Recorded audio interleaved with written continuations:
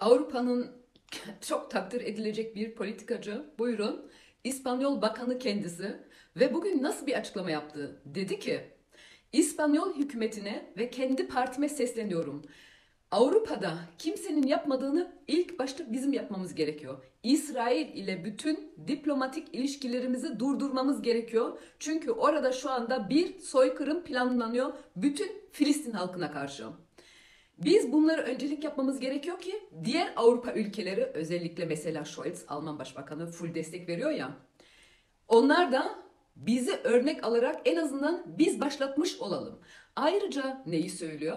Diyor ki İsrail'e bir an önce ambargo getirmemiz lazım. Nasıl ki Putin'e ambargo getirdiysek bunun aynısını da İsrail'e yapmak zorundayız. Hatta geç bile kaldık. Videonun sonunda bırakıyorum. Yani bu videonun sonunda kadının bakanın söylediklerini çok takdir ettim.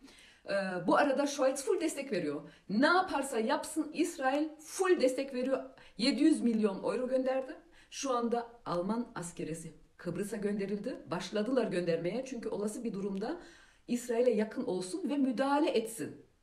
Ve başka Alman politikacılar, bakanlar ne diyor? Gerekirse canımızla İsrail için ya da canımızı İsrail İsrail için vermeye hazırız.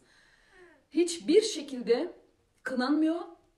Sadece ilk defa bu bakanın bu kadar net konuştuğunu duydum. Başka e, politikacılar da var tabii ki. İyi dinleyin lütfen.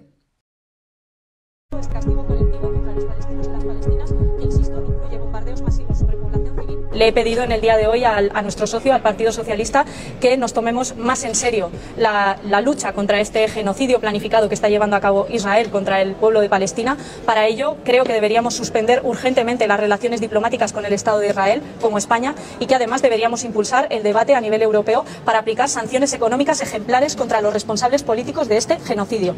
Creo que eso ya se hizo en el caso de Rusia y creo que estamos tardando para aplicarlo también en el caso de, de Israel contra Netanyahu, también contra su ministro de Defensa y contra el resto de responsables políticos que están decidiendo este castigo colectivo contra los palestinos y las palestinas, que, insisto, incluye bombardeos masivos sobre población civil, cortes de agua, cortes de luz, en lo que es un, una clara vulneración del derecho humanitario internacional.